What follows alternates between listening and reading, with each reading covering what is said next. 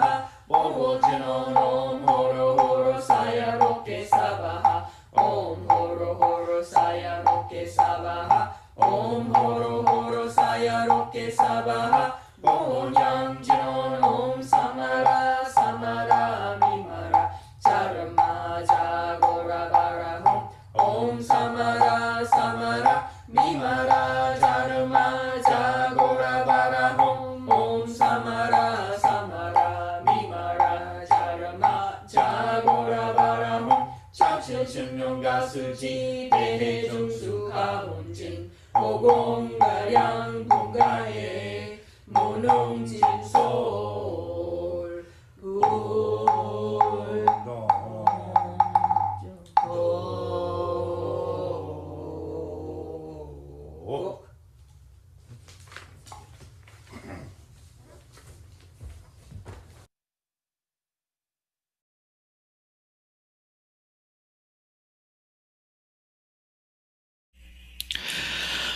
Okay, now I know that um, uh, Joe had a question, but before we get to Joe's question, I want to answer a question that was uh, raised um, last time we met by Camille, who isn't here um, tonight, but I'm still going to answer a question anyway, which is about the um, translation uh, of the chant. And uh, to answer that, I'm going to share my screen again. So this is in the uh, and we're now looking at the mindisbuddha.org blog uh, site. This is the post that's on that blog about Jijang Bosal chanting the text. And so I've added um, the English translation of the first four lines, which is really just the names of, of Jijang Bosal or, or some of the names of Jijang Bosal. I still need to add, I just realized as we were chanting, I still need to add a translation of uh, the last part here, which is a, a, a quote from the Avatamsaka Sutra. I, so I have that elsewhere on the blog, but I, I want to add it to this post as well. And, and um, then here for a more detailed um, look at at uh, at translating um, these four the first four lines. Uh, there's another blog post which is on the names of Jijang Bosal. So if you go to the search function works pretty well on this blog. If you say Jijang, if you just search for Jijang in the blog, there's a little search field, and you um, names of Kshitigarbha, Jijang Bosal, Jizo, Dizang. Uh, this goes through these Nambang Huaju, Yu Myung Goju, and Daewon Bonjon and kind of gives a more blow by blow um, translation of the uh, the Chinese characters. And um, let's see. I think there was one other thing I wanted to say about. Uh, but now I can't remember it. Um, oh yeah, so there is one other thing I want to say about uh, the mindisbuddha.org website. If you go here, uh, oh yeah, uh, and I'll put a link to this uh, in the uh, description of the video when it gets posted to YouTube. I'm now working on getting a more uh, complete uh, list of all the slides and all the recordings for for this class, the Jijang Bosal Book Club, as well as the other two classes that I'm teaching. So you can find it. You can kind of find everything on YouTube as it is right now, but this might be a this might be a little more. Um, efficient. And then one thing that has been requested is to provide uh, PDF versions of the PowerPoint slides so that you don't need to have uh, PowerPoint installed uh, on your phone or your computer in order to be able to look at the slides. So I'm going to work on that too. Um, and now I think there is, I think Joe had a question he wanted to ask. Um, stop sharing now. Yes, Curt. And thank you for the PDF. Uh, yes. Uh, I already used the one from uh, last week, so that was great. Oh yeah, right. Uh huh. So yes, my question is, uh,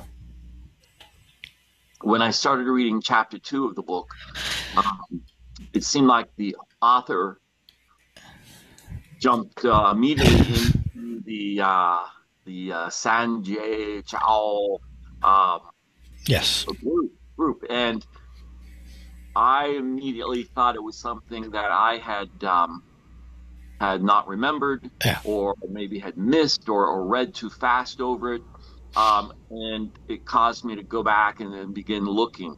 Um, yeah. and, and, I could never really find anything. So right. I was at a loss, and, and, so I wanted to ask: Is that something I had missed in a previous chapter, or mm-hmm. or not? Yeah. Um, so let me share my screen again. I'm going to look at the electronic version. Okay, here, so here we're looking at the um, chapter that we're going to be talking about tonight, and that Joe is just referring to, chapter two, cultic beginnings reconsidered. Um, and here she mentions uh, Sanjie Jiao, and so I can go and, well, I don't even need to copy it. I can just go up into the search. Since this is this, since this is an electronic version, a PDF, um, I can search for uh, Sanjie, and I can go search back. And so there is some mention of it here, just kind of at the very last paragraph uh, of the uh, introduction. Uh, so she mentions it a couple times uh, here and there. Uh, but there is, in fact, uh, yeah, let's see, Sanjie Jiao's appearance.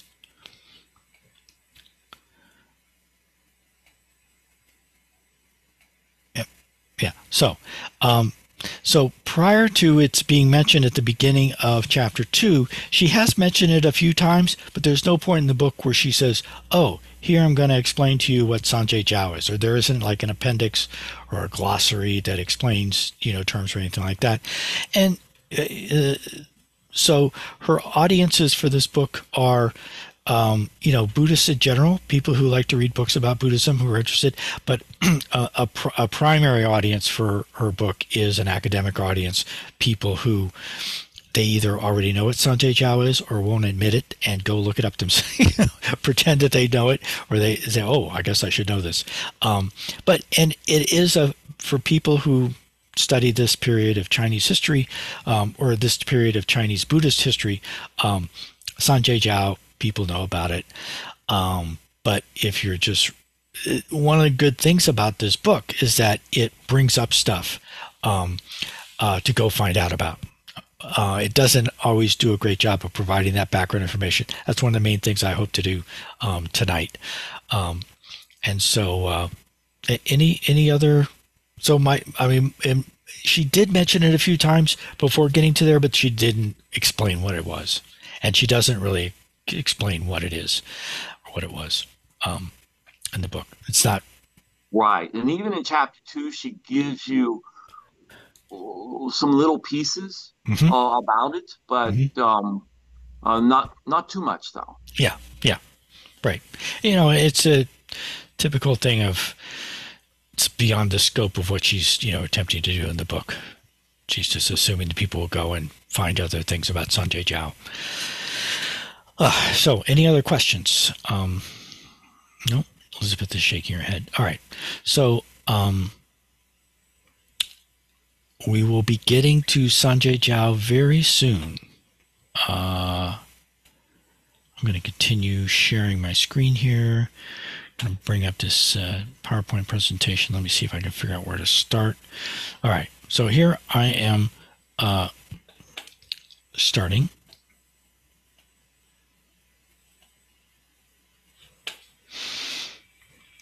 And so these are the uh, the first couple of slides might be familiar if you've uh, photographically uh, mem- remembered um, the presentation from three weeks ago.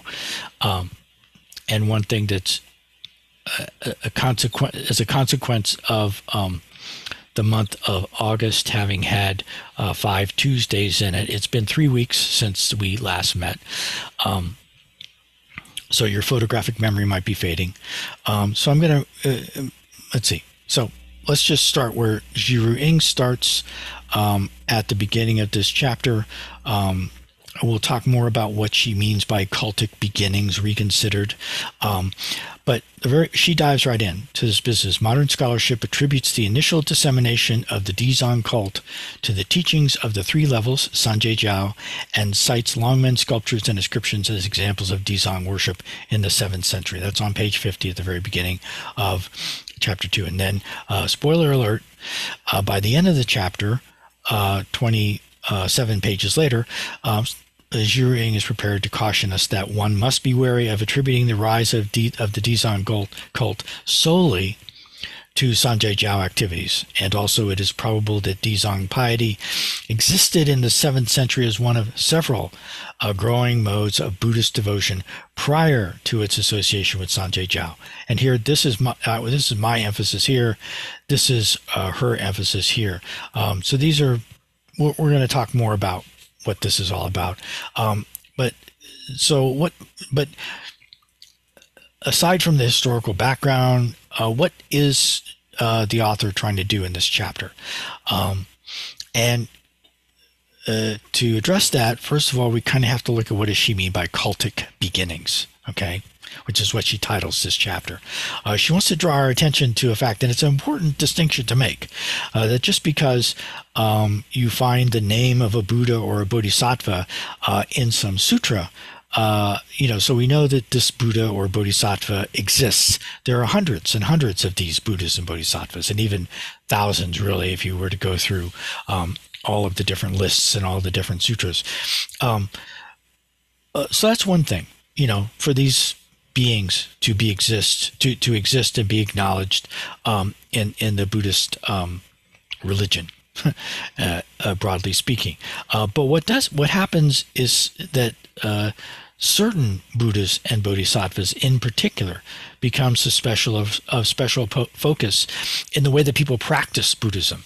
So it's no longer just a, a, a, question of you know people who are part of the cast of characters in the in the sacred texts of Buddhism the certain Buddhists and Bodhisattvas become much more prominent in the actual uh, practices that Buddhists, both as, as, as individual Buddhists and as groups of Buddhists, um, um, practicing together. Um, uh, particular Buddhists and Bodhisattvas become more prominent in in their practice, um, and so especially going back over a thousand years, we can't see into people's heads and hearts, so we can't know who people are holding, especially importantly in their heads or in their hearts.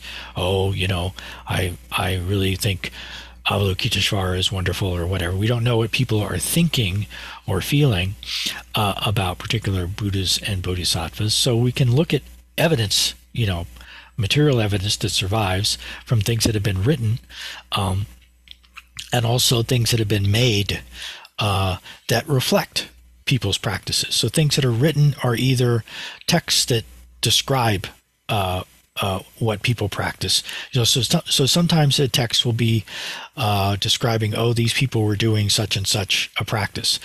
Uh, other times, the texts in question will be more like actual instructions. This is what you should do.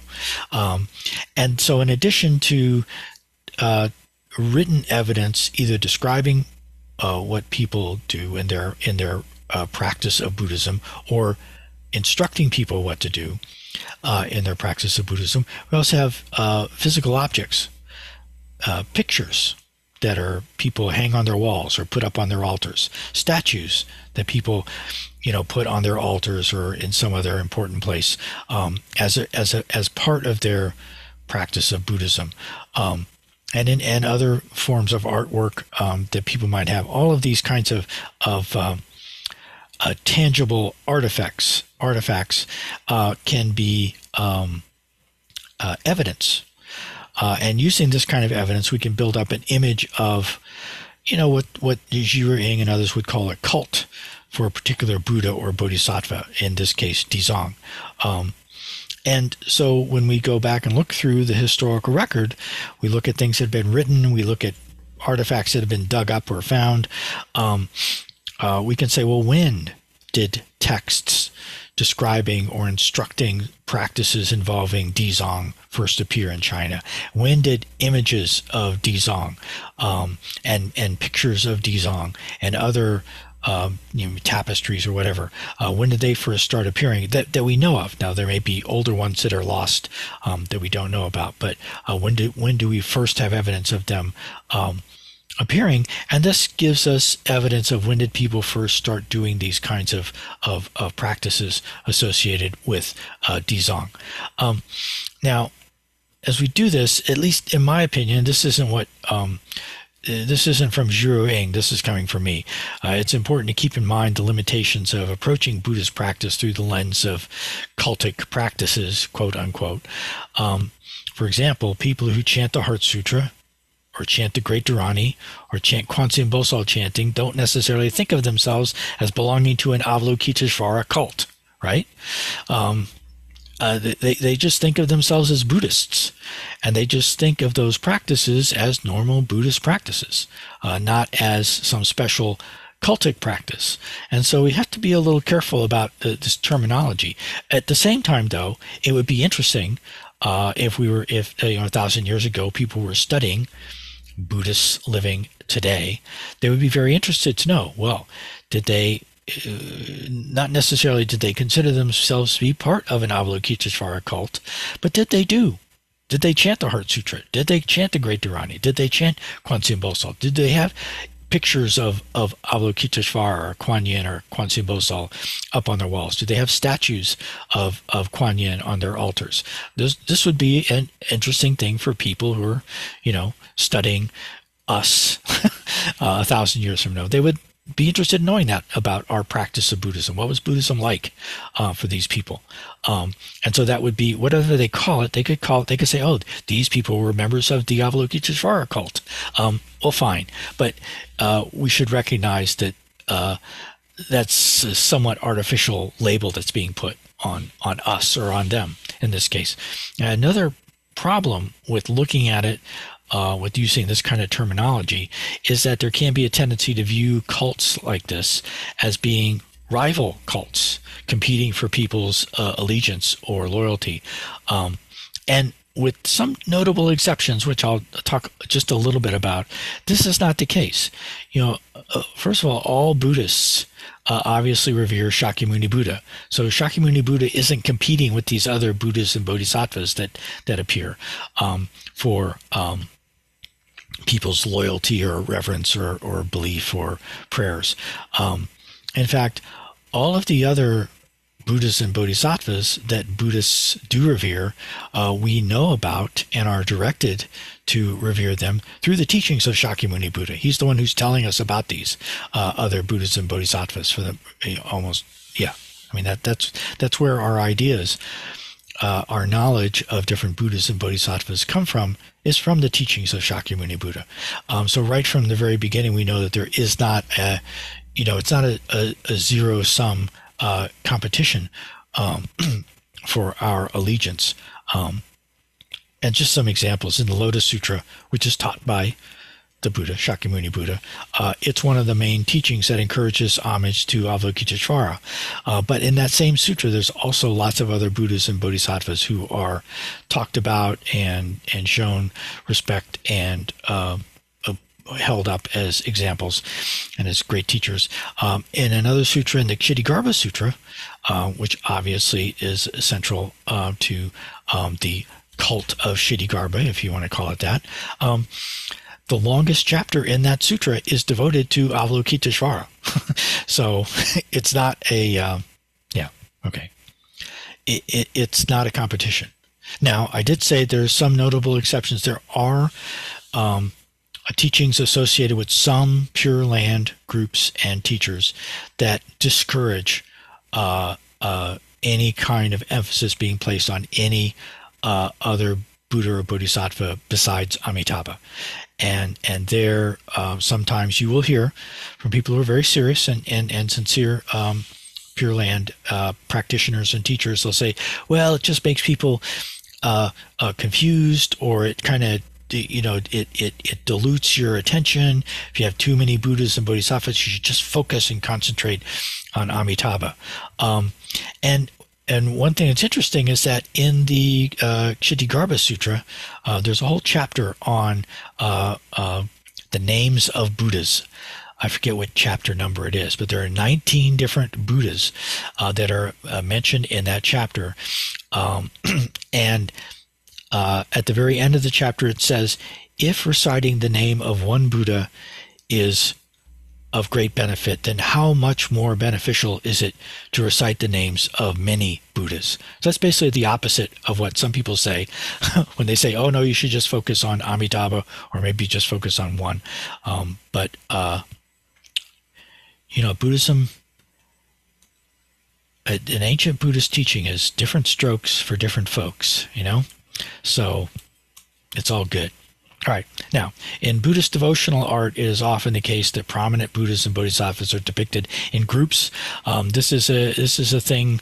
Um, Dizang is often uh, portrayed along with other Buddhas and Bodhisattvas. Uh, groups of three are especially common.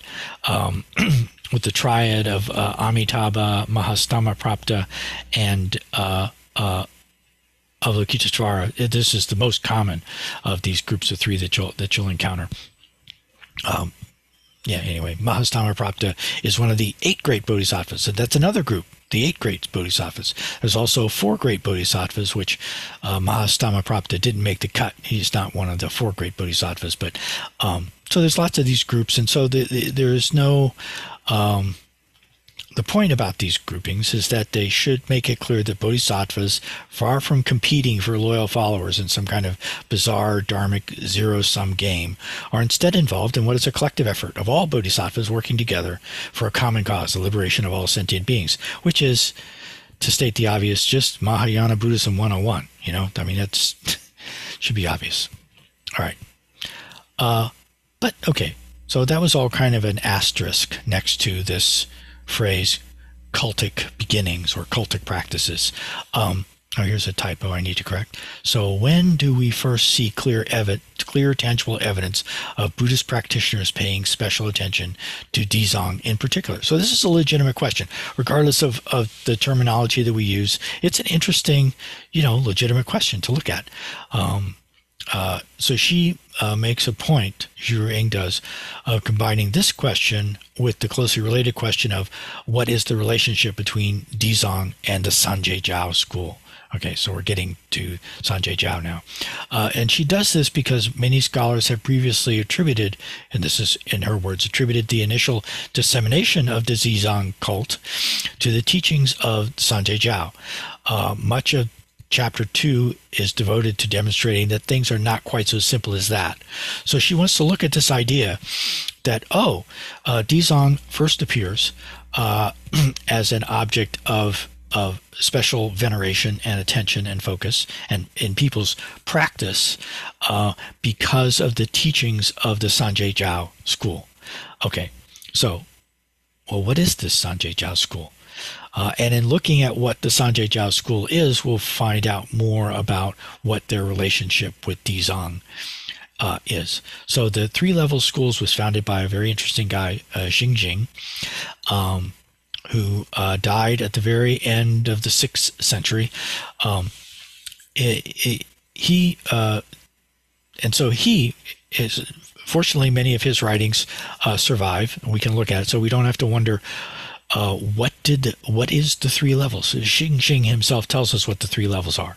Um, and they are three levels of practitioners.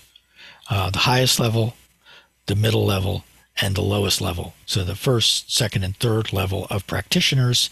Um, and so he gives some specifics that are a little strange, um, having to do with who, whether you can practice in quiet places or chaotic places or or whatever. But the the real point of the so the three levels school is often also referred to as the third level school because the teachings of Sanjie Jiao are specifically um, focused on this third level, the lowest level um, of people.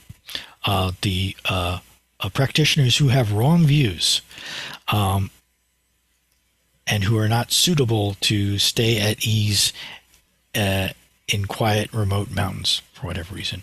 Um, that was an important distinction uh, for well, and so oh, the even though this is a, a, bit strange of a distinction, the important thing is that there's a great emphasis in Xinxing's uh, teachings and Sanjie Jiao in general on work on group practice. Um, because people can't be trusted to go off and practice by themselves because we're so deluded. Um, now, this, these three levels correspond to three levels of practitioners. The highest level practitioners, the medium, middle level practitioners, and the lowest level, the most, the the, the people who uh, uh, have the least going on in terms of their understanding and ability, uh, understanding of the Dharma and ability to practice the Dharma.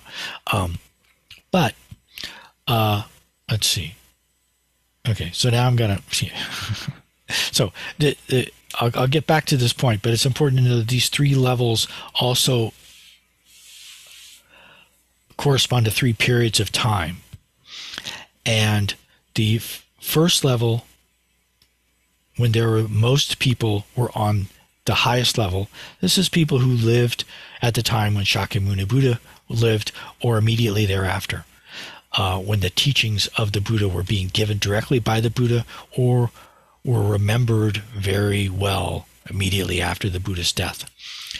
People in the second level were those who lived a while later when people were beginning to forget uh, the teachings and were starting to make more mistakes in their understanding of the teachings. And the third period, which Xinxing was convinced had been entered into by humanity, was a period when the Buddhist teachings had, for the most part, been forgotten. Uh, very little was remembered. It was still possible to practice the Dharma, but very, very difficult um, because the teachings had mostly been forgotten in the third period. Okay. Uh, but before, it, it, one thing, why? Why did Xinxing believe that uh, he was living in what uh, uh, people came to call the Dharma ending age, or usually it's not just referred to as the, the Dharma ending age, but in the evil Dharma ending age. Um, and you might expect that uh, this kind of well, let's see, how am I doing on time? Actually, it is. So this is a good good stopping point. We will start talking about what is the evil Dharma ending age? Why did Xinxing think that he was living in an evil Dharma ending age? And what kind of a world did Xinxing actually live in? Was it an evil, and, uh, and you know, anti-dharmic period or not? Um, all these questions and more will be answered um, after this uh, after this break. So I'm going to let's see now. Yeah. So we'll take a five minute break now. As soon as I can get up. Okay, there's the book. And where's my timer?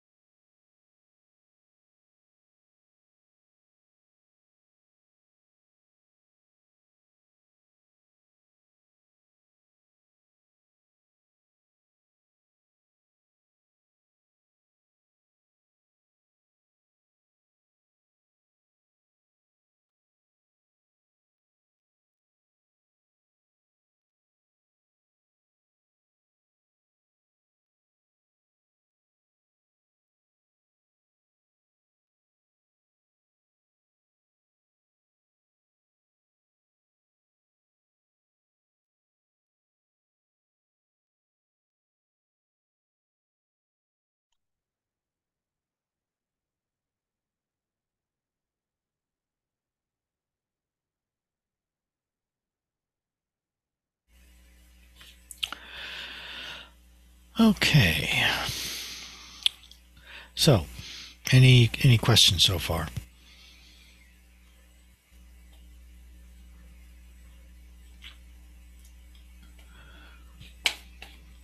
If not, I'll just plow right on in.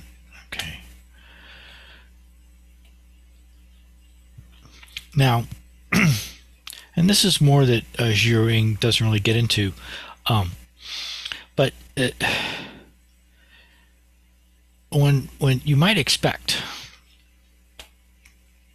that uh, the Dharma ending age would be a bad time, an evil time uh, perhaps a time when there was uh, uh, social, political, and cultural turmoil.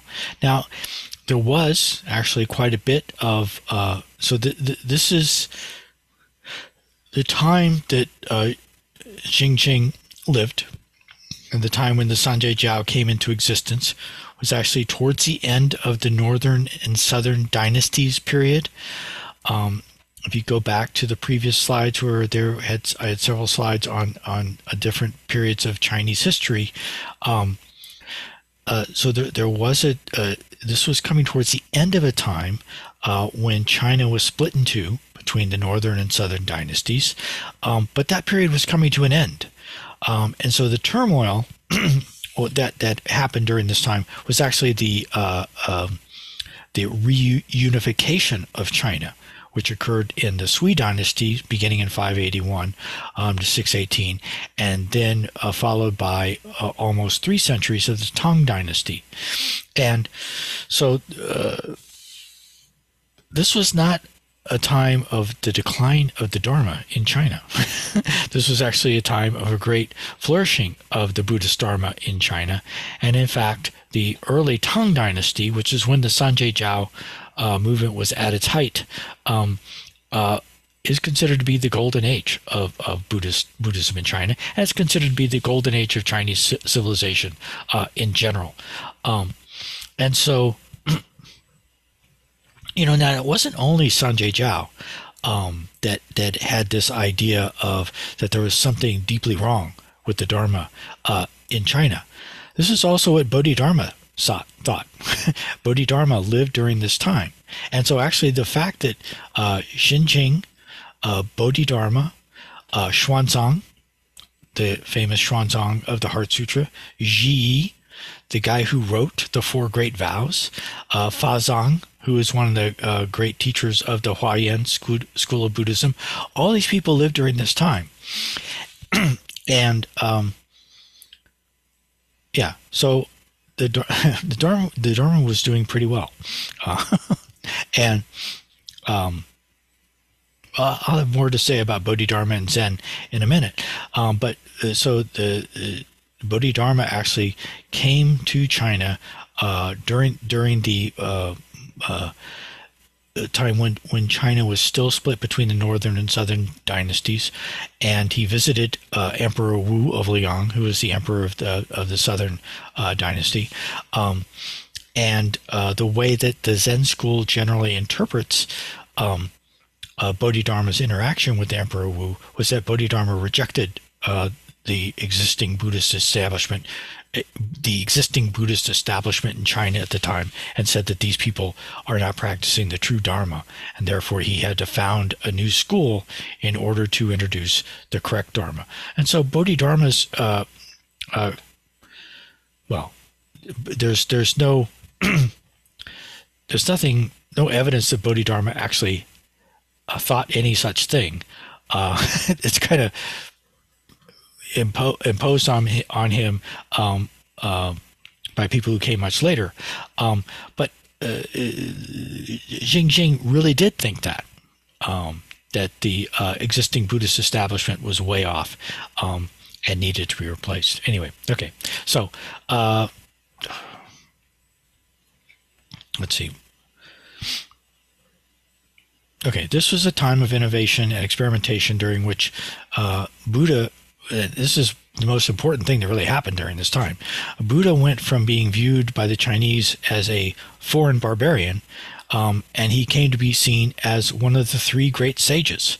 Uh, he took his place alongside uh, Confucius and Lao Tzu, um, and that's what happened during this time. Buddhism, Buddhism became, became uh, Chinese uh, uh, during this time, um, and as as part of this process is there's a tremendous um, as part of the flourishing of the dharma during this time there was all kinds of innovation and experimentation uh, people trying things trying out ideas. And one of the ideas that that many people tried out was that hey we are living in the dharma ending age. And therefore we have to fill in the blank. Um, uh, Sanjie Jiao was one of these experiments, uh, and actually for quite a while, it was a very successful experiment. However, by the 8th century, um, for reasons that are still far from clear, we'll t- I'll talk a little bit more about this. Uh, the the movement was facing increasing hostility from the imperial government, and by the 10th century, was mostly extinguished and remained largely forgotten until discovery a thousand years later of of the school's apocryphal texts among the Dunhuang uh, manuscripts. and so in trying to figure out okay so that's kind of the historical background of the school. And we know that they had this idea that they were living in the dharma ending age um, and that the only teachings that were appropriate were the teachings that were most suitable for the lowest quality uh, uh, practitioners.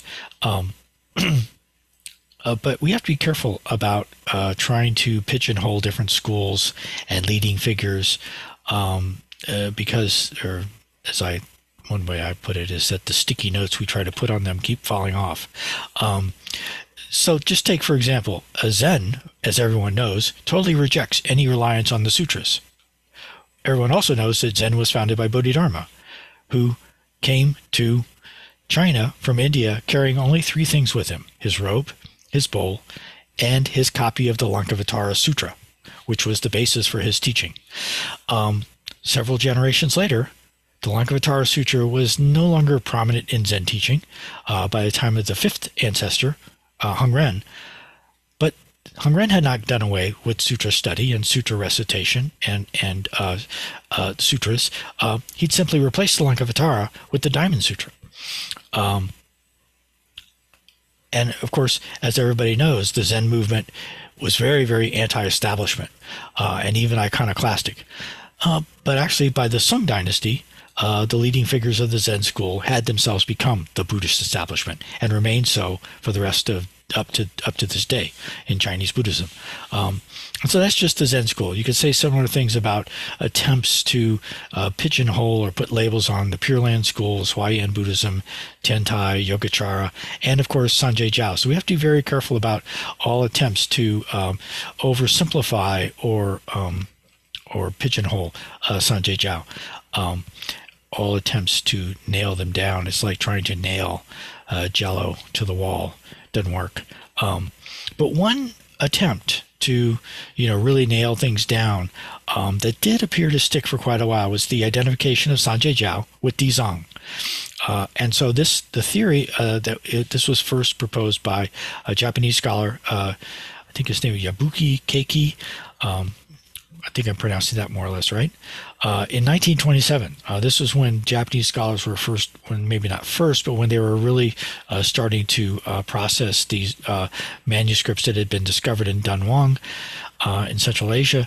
Yabuki showed that uh, Jing, the founder of Sanjie Jiao, was greatly influenced by the scripture on the Ten Wheels, which does in fact very prominently feature Dizang. he's the primary you know actor in that in that scripture. Um, and de- and in his own writings not just in this scripture that he highly revered but in Xinxing's own writings he definitely talked a lot about Dizang and uh, held up Dizang as a role model for practitioners. So this is uh, uh here's another typo. This is Zhiru Ng's characterization of Yabuki Keiki's writings. Um, but I think it's safe to say that this is accurate that um, Xinxing held up Dizang as a role model for practitioners. Um, and this is also from, from the evidence we have, from the archaeological evidence and from the historical uh, textual evidence, uh, this is during the this period when the uh, Sanjie Jiao movement is coming into existence under Xinxing's leadership, uh, this is when the first cultic beginnings, that is, stuff that we find, texts and statues and pictures uh, related to the uh, to the cultic practices associated with Dizang. uh, this is when we find them. Um, now, this strongly suggests that there is some sort of relationship between uh, Xinxing and his uh, uh, Sanjie Jiao movement and the beginnings of uh, these uh, cultic uh, practices associated with Dizang. But Zhiru Ng points out um, that uh, even though there's a correlation in time, this doesn't necessarily mean that there is a, a real causation. Um, and in fact, to the extent that they both occur at the same time, uh, which the historical evidence does indicate, the causation, if there is such, could be the other way around. There's no reason why uh, Sanjie Jiao couldn't have uh, uh adopted uh, Dizang because that was already very popular with the very people that Sanjie Jiao was trying to reach out to. Um, I'm not saying that that's the case. Um, but uh, in fact, I think it's much safer to, to just stick with what uh, Zhiru Ng uh, makes a case for, which is that there is no strong evidence that uh, uh, active cultic Dizang piety uh, had its origin in uh, Jing's movement. Um,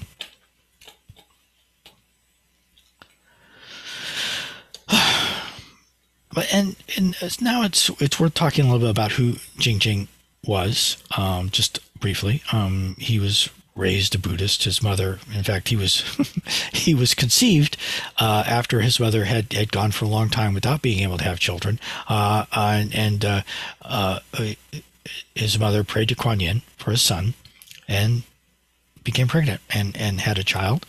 He was very bright, but he wasn't particularly interested in Buddhism when he was young. Uh, but uh, later in life, he became a fervent Buddhist practitioner, teacher, and a leader of this new movement. Um, uh, but what we know about uh, Xinxing's life is is uh, uh, it, it's often difficult to sort, you know, biography from hagiography. Um, uh, when it, for anybody who's become a, a, leader of a, of a major Buddhist movement, and this is even more the case with someone who has become the leader of a major Buddhist movement that later gets branded as a dangerous heresy. Um, so that that muddies the water even more. Um, Okay. And then this is a repeat of, of, what I was saying before. So in in Xinxing's teachings, his writings, the the three levels correspond to the three ages of the Dharma. Uh, and Xinxing firmly believed, as many Buddhists did at the time and still do today, that he was living in the third and final evil time of the Dharma ending age. Uh, and and during this time, the vast majority of people uh, are necessarily of the third lowest level, uh, those who have the least uh, capacity. Um, now, this word capacity, uh, uh, the uh, there's an interesting entry for it in the good old um, digital dictionary of Buddhism online. You can look up Buddhist terms by their Chinese characters um, there, and it's the this word that is usually translated in English as capacity. It means the intellectual, religious capacity of sentient beings, the ability to understand the profundities of the Buddhist doctrine and engage oneself in effective practices, generally categorized into sharp, average, and dull. dull being, of course, the people that uh, that the Sanjie Jiao movement was saying that's who the vast majority of us are, and that's what what you know we really need to be focused on. Um, the particular capabilities that a certain individual has for understanding a certain level of teaching and attaining enlightenment. Um, now, interestingly, you might think, well, what kind of so if if the vast majority of people are dull, have the lowest of of all possible capacities, so what kind of practices are uh, most uh, appropriate for such people. Turns out, what what Xinxing called formless meditation, which is very very similar to what Zen uh, uh, Zen meditation Zazen. Um, that's what Xinxing said was the was the most appropriate practice for the the, the worst, the lowest, the dullest of us all. Um, uh, and in fact, Xinxing uh, in in the Chinese sources, he's referred to as a Chan master, because um, in in Chinese, Chan uh, just means meditation. Uh, and so, anybody who teaches meditation and someone who is a very respected uh, teacher of meditation and considered to be an expert in meditation will just matter of factly be referred to as a Chan master, uh, a Zen master in, in Chinese. Um, and he was uh, generally recognized by people as a um, uh, as such as as a uh, expert teacher in meditation. Now, now, if uh, uh, there's there's a couple of sources that are really good. Um, if you want to go find out more than you ever wanted to know about Sanjie Jiao. Uh, and here I've got like a, a really long quote from a, a great uh, article that I think I'm going to try to find a link that I can that I can share um, uh, to this article. It's a book chapter, um, uh, but I'm just going to kind of read through this, perhaps a little quickly. Um, uh, so, and, so and so, this so Mark Lewis uh, is starting out talking about uh, what what kind of so not everybody agreed back at the time of Xinxing that they were all living in the Dharma ending age, this time when the the Dharma had mostly been forgotten, where the existing Buddhist institutions were mostly no good, and uh, where most of the people were only of the lowest capacity. Uh, not everybody believed that, but some people did, and it wasn't just Xinxing. So, what Mark Lewis says is that in general, those who were devoted to philosophical speculation and intellectual synthesis tended to ignore or actively denied uh, this idea that the Dharma was disappearing. Um, but uh, people who did so what mark lewis calls it the disciplinary school this is what you'll often see referred to as the vinaya school. Um, you've have you encountered that terminology vinaya school? So vinaya, vinaya school is, is, kind of a strange uh, designation. Uh, vinaya is the monastic code uh, of conduct. It's the third basket or second basket, depending upon the order that you put them in, of the Tripitaka. It's just all the list of rules uh, that that monks and nuns are supposed to follow, and the uh, correct interpretation of the rules, uh, and and any additional, you know, and like because because how the rules are enforced and all that stuff. That's the way Vinaya is usually thought of, but um, people who uh, specialize in Vinaya actually are usually um, specialists in conducting ceremonies and rituals uh, because one of the things that uh, is part of the training of monks and nuns in learning all the rules is how to conduct various uh, ceremonies and, and rituals. And so uh, often when the people who are in the Vinaya school, they're ceremonialists to some extent. Um, there are people who, who specialize in how to do weddings and funerals um, and uh, uh, stuff like that. Or at least that's one. Uh, I think I'm right about that. To, but and but I don't know why. Supposedly, people who were so, oh, also at this time in Chinese history, the the people in the Vinaya school tended to be um, not Mahayana Buddhists, or at least a lot of them were not yet. They had not. Um, uh, the eventually the Chinese Vinaya school became part of the Mah- Mahayana family, uh, but this time there was still a strong uh, non-Mahayana uh, uh, streak in Chinese Buddhism, uh, and it included people in the Vinaya school. Um, also, the Pure Land sect uh, and Sanjie Jiao. So the, the Vinaya school, the Pure Land sect, and the Sanjie Jiao. Um, and I would put po- quite possibly the, the early stages of the Zen school as well into this um, uh, group. They all spoke of the end of the, Dharma, end of the Dharma as imminent or as an achieved fact. Um,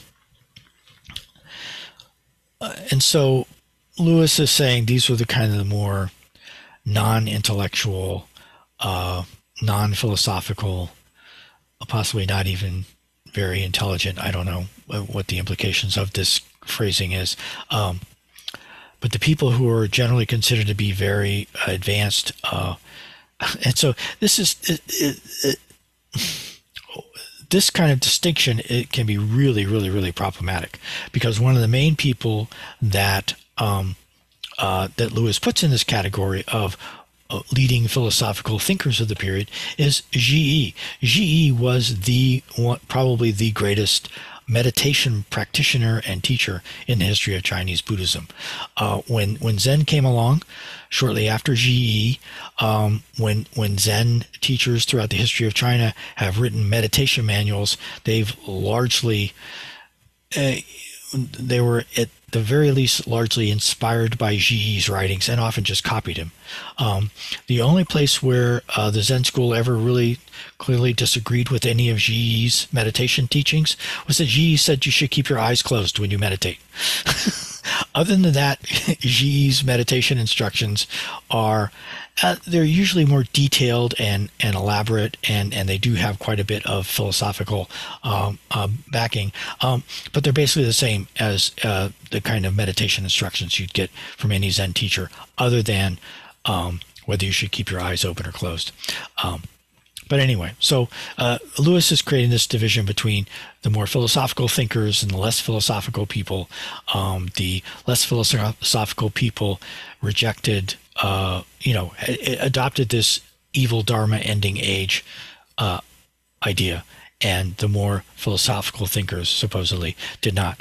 Now, um, the single prominent exception uh, to this distinction um, is a very prominent exception, and it was good old uh, uh, Xuanzang, whom he spells using the older style of romanization, aka Xuanzang, and his chief chief disciple Kuei-chi, Kuiji, um, they did believe that the imminent end of the Dharma and cited evidence for it in their writings. Um, and then he goes on to explain why he thinks that might have been the case. Uh, but it's now one thing about this is that um, and I don't, I probably won't have time to talk about this tonight. Uh, Zhiru Ng in her book also talks quite a bit about Kuiji. Uh, she cites Kuiji, uh, and she misleadingly, uh, and I, I, will have to talk about this next time.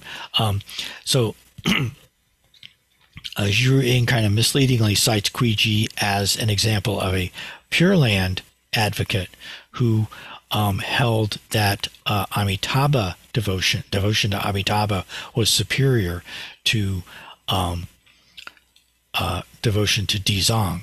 The problem with that is that in the same argument, what Kuiji is really arguing for is the superiority of Maitreya to everyone else.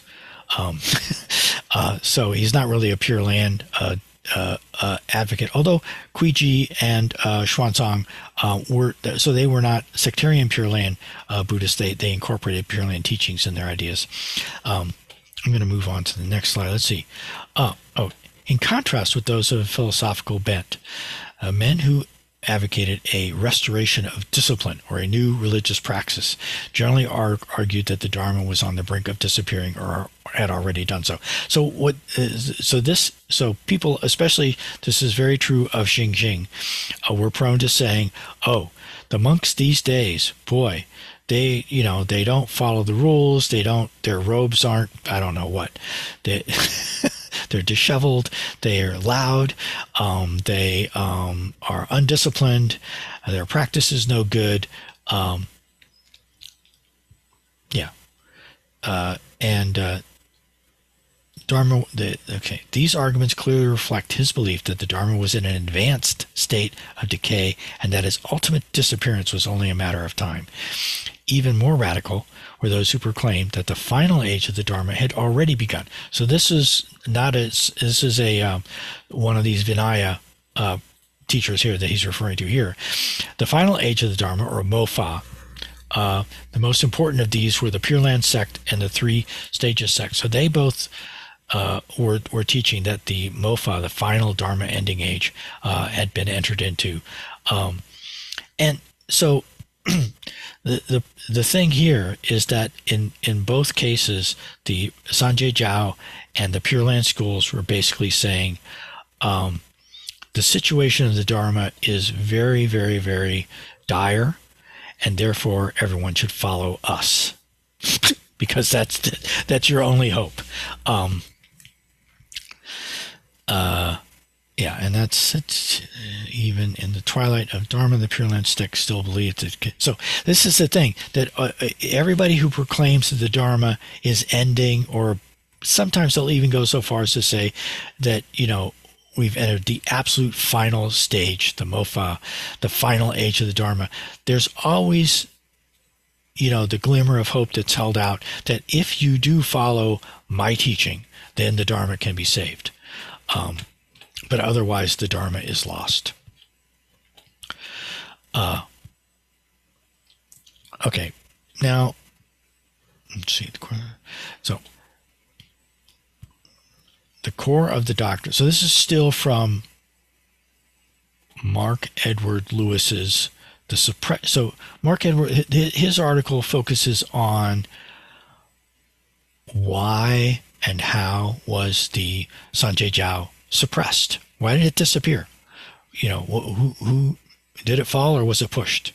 Um, so it, it, everybody agrees that it was pushed. Uh, Sanjie Jiao didn't just kind of disappear. Sanjie Jiao was was actively um, suppressed. And let's see, the core of the doctrine of the three stages sect was that the Dharma declined through three stages. We've already covered that. And the descent of the Dharma into its ter- terminal stage invalidated all distinctions and judgments of value. Cut off from the Dharma's truth, men could no longer distinguish right from wrong. And so, to avoid the crime of slander and false judgments, they had no choice but to affirm and reverence all beings on the basis of their ultimate Buddhahood. So, this is really an interesting teaching. And um, this teaching is is obviously, uh, at least in part, inspired by the um, uh, chapter of the Lotus Sutra about the great um, Bodhisattva never disparaging, who was one of the previous incarnations of uh, Shakyamuni Buddha, um, whose practice was to never disparage and to simply recognize the Buddha nature in all beings, even though he lived during a time when people were very, very, very, very, very bad. Um, and all the bad people who lived at that time, when Bodhisattva never disparaging lived, they they would attack Bodhisattva never disparaging. They would beat him up. They would uh, beat him with sticks. They would throw rocks at him, and he would always just bow to them and say, I dare not disparage you, for you are all bodhisattvas, and you are all certain to become Buddhas. And all those people were, uh, so uh, that that bodhisattva was later to be reborn as Siddhartha and to become uh, Shakyamuni Buddha. And all those people who were throwing rocks at him uh, became his disciples um, uh, during his uh, career as Shakyamuni Buddha. Um, let's see. And so the idea of universal Buddhahood, universal Dharma, universal reverence. So universal. Uh, the Sanjie Jiao, one of the buzzwords for Sanjie Jiao was universal. Everything is universal. Um, universal truth, universal common man. Um, and uh, which you know it all that sounds good and actually a lot of the stuff about sanjie jiao sounds very good especially when you combine it with um, uh, their anti-establishment rhetoric um, so modern people who are looking for kind of more politically correct looking uh, sort of models for Buddhism uh, can have a tendency to glom on to um, the Sanjie Jiao movement and say, "Oh, these people look good." Uh, you know, it we have to be you have to be a little careful uh, about that though, because at the same time, the the logic of their rhetoric is everyone's wrong except for us, and your only hope is to follow us, um, and that's that's a very kind of dangerous sort of teaching. Um, although a lot of the specifics sound pretty good. Um, the relation of the Buddha nature to sentient creatures was variously compared to that of water to waves, clay or metal, and to the impediments made from them, or an actor to the many roles he plays. For the true nature of all those beings were not yet Buddhas, was actually the same as that of the Buddha himself. Since all beings shared the Buddha nature, all were truth Buddhas. All were in truth Buddhas. That sounds good. Um,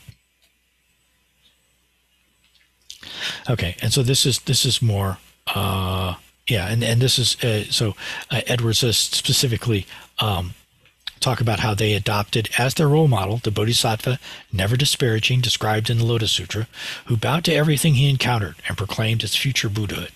It also led them to denounce all those who uniquely reverence the Buddhas, the Sangha. yeah, so so this is good, but then they they they model themselves on Bodhisattva never disparaging, but then they immediately turn around and start denouncing everyone who doesn't follow their interpretation of Bodhisattva never disparaging. Um, anyway, all right. So this is so this is the book that this article is contained in, and I, I do have it. This is a very very very interesting book in itself. Um, I, I have a copy of, of this article that I, am going to try to share with people. Um, okay, so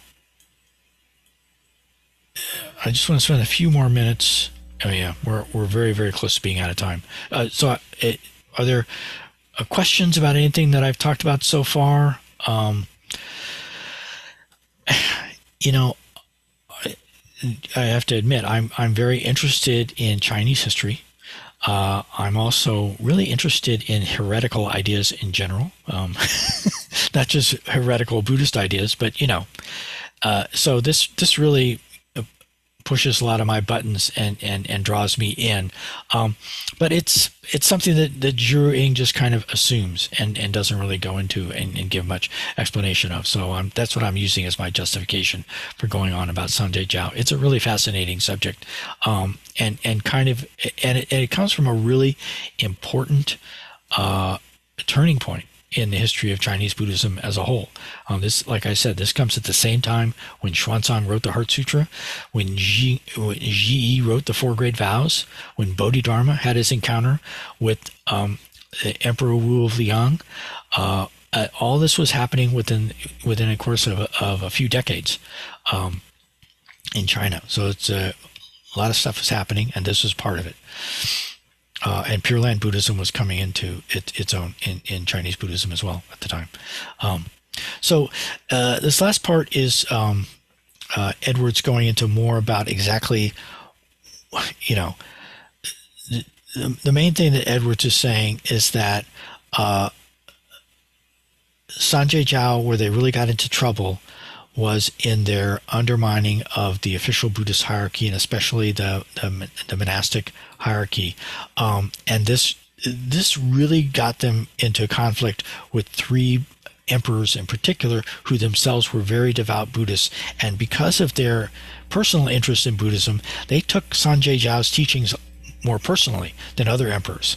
Other emperors, it was the official policy in the Sui and the Tang dynasties to support Buddhism, but most of the emperors just treated that as nothing more than the official policy. And they didn't really get their hands dirty uh, mixing it up and saying, you know, trying to uh, sort out doctrinal differences or, um, or you know, being too involved in appointing who's in charge of what within the, the Buddhist uh, institutions. But three emperors in particular did, including the famous Emperor Wu, often referred to as Empress Wu, uh, the only uh, woman to ever be emperor of China. Um, in Chinese, there is no the word empress doesn't exist in in Chinese. It's the same word whether you're a man or a woman, and it's it didn't come up except for that one time when when uh, Wu, when Emperor Wu was was the emperor. Um, but she was a very devout Buddhist. Um, one of the emperors during the uh, Sui dynasty, and then a, a later emperor after um, after Wu. Uh, I've got his name here somewhere, but they were the ones who suppressed Sanjie Jiao because uh, they didn't like uh, what Sanjie Jiao was doing. They were they involved themselves directly in the, you know, uh, in in Buddhism, uh, you know, as as an as a religious institution in China, whereas other emperors emperors didn't bother themselves with that so much. But these three emperors were the ones who um, took it personally and um, took took measures to um, suppress uh, Sanjie Jiao. And if you really want to you know even more, there's a whole book about it by a guy named Jamie Hubbard. This is a very interesting book that I've only just barely gleaned.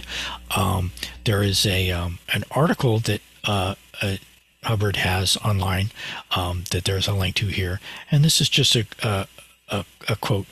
Um, there is no question that the official hostility toward Hsin-hsing, this is another way of writing Xinxing's name, teachings and institutions is the most conspicuous aspect of their history. Although Hsin-hsing advocated no revolution, led no peasant mobs in uprising, and left behind no track record of immoral behavior by his community, within six years of his death in 594, the propagation of his text was prohibited, and over the next 125 years, four more edicts were issued banning various um, aspects of his followers' practice and organization.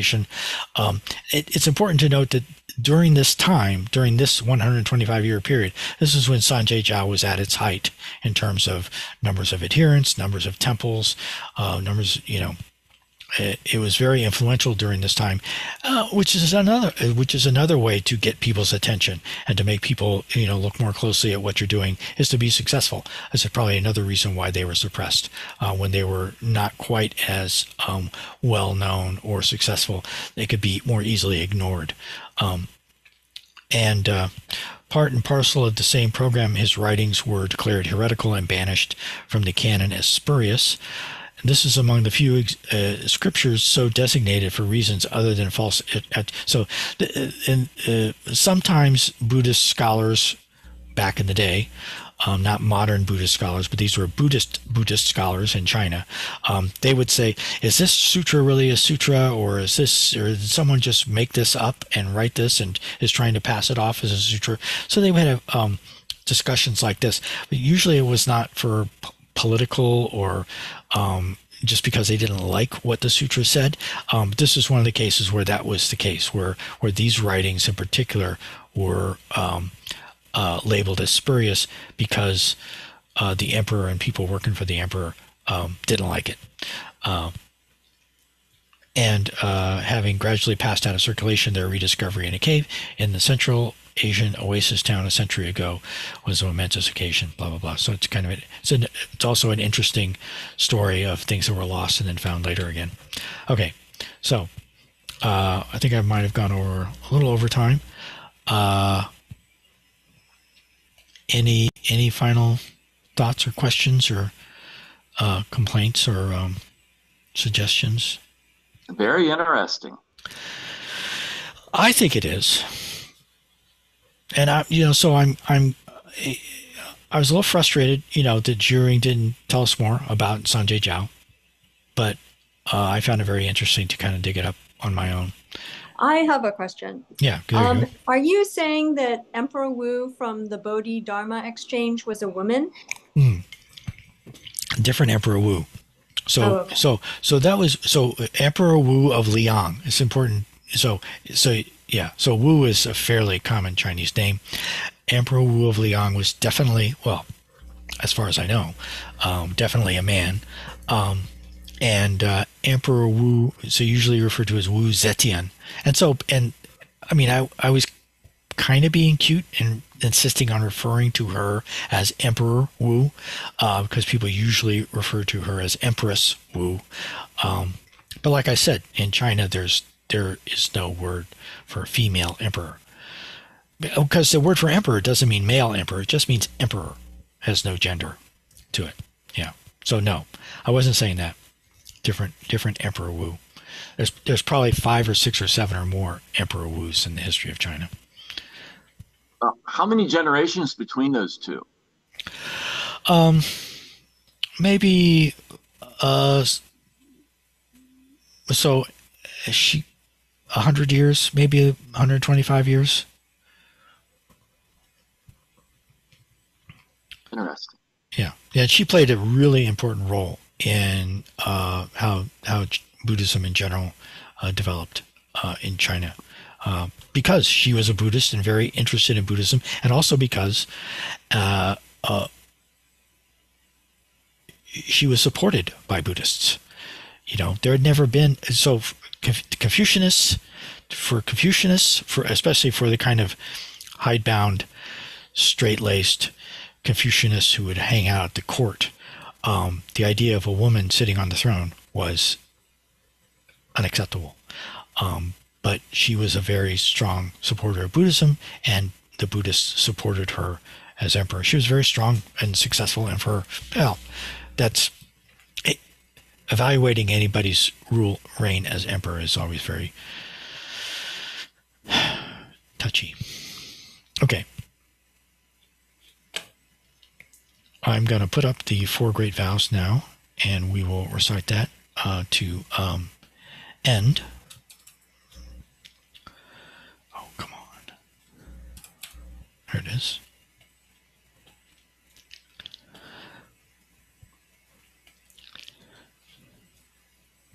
Course, I had a software update that I had to apply to my computer like half an hour before the class started, so I don't have didn't have the file up. All right, so I'm going to share my screen again. We will recite the four vows um, to end. Sentient beings are numberless. We vow to save them all. Delusions are endless. We vow to cut through them all. The teachings are infinite. We vow to learn them all. The Buddha way is inconceivable. We vow to attain it. May whatever excellent qualities we have gained from this practice be extended for the benefit of all beings.